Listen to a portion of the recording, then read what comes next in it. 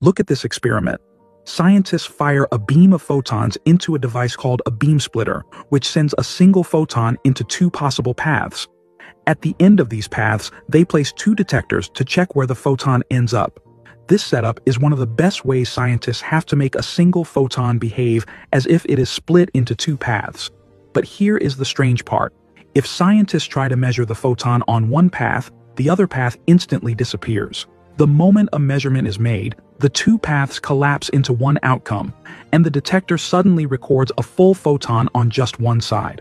This effect is deeply connected to non-locality.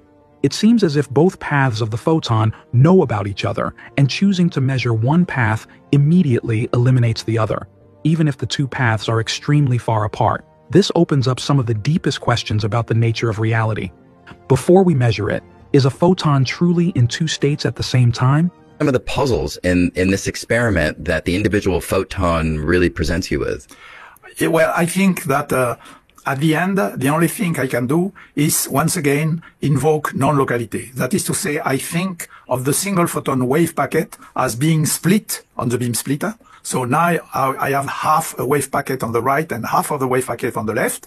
But if I measure on the right, if I detect the photon on the right, instantaneously the other wave packet collapses to zero.